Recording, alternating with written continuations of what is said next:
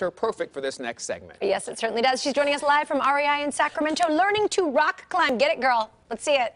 Yes, you know my idea of camping is embassy suites. Yes. So uh, we're at REI because they offer these outdoor classes, getting people prepared for doing some of these outdoor activities. The weather's heating up. It's almost spring. This is perfect time for you to be taking up something new. So if you've ever been shopping at REI and you see maybe some climbing shoes or things like that, thinking, man, I would really like to get into this, there's a class now. Now that class is going to be happening this Sunday, March 12th. You can go ahead and do that. But you guys also do Friday free climb. And this these classes are good for anybody, right? As as an intro to climbing. Now, how long has Nolan been doing this? Because both of you guys are pretty good. Uh, probably for a couple years, both Nolan and I. Um, so it does take a while to build up some skill, but if you stick with it, you know, it gets a little bit easier every time. And it turns out that kids are really good at this. Why?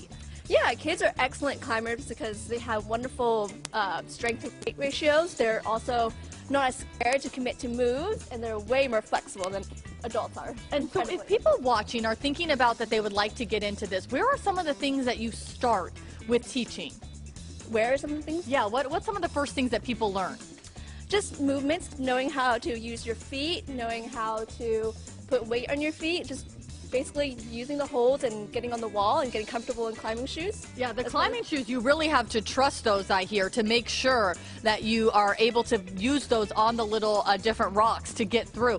When as, as he's selecting where he's going to go, obviously outdoors, you don't have something that looks like this that really guides you as well. So can people learn about that in these classes too?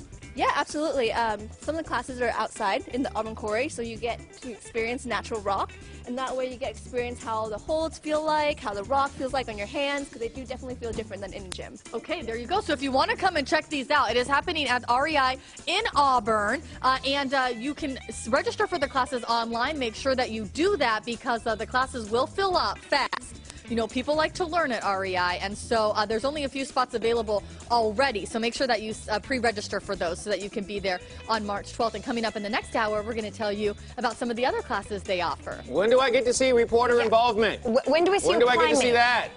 There's a wall right there. Yes, waiting can be the you. climber. Well, that's a lot.